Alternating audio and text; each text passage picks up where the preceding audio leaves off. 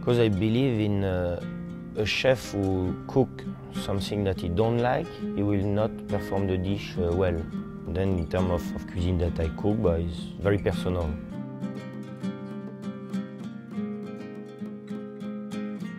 My name is Guillaume. I'm the chef in tasting room.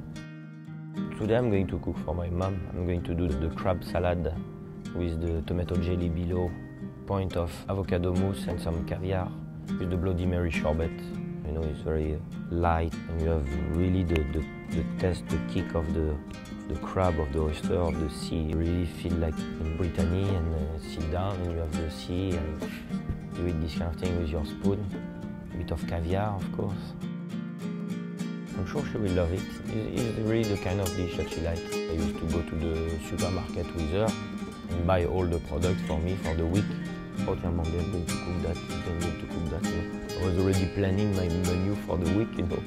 So my mom, she was quite a bit, not shocked, but impressed of, of the organization menu in advance for the following week. And I was only 12, you know.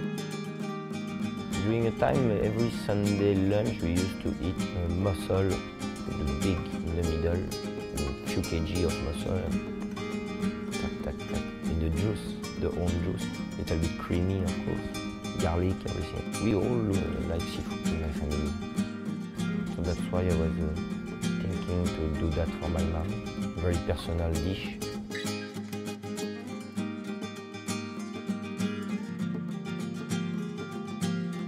When you put the bowl down, she will already like it by the visual and after I can see her face when she she used the spoon she, will say oh, okay. That's what I want you know. I'm the last kid of the family and usually everybody say the last kid of the family is the preferred one from the mom so maybe it's true huh? she will try next month. After she approves it I will put on the menu but I'm sure she will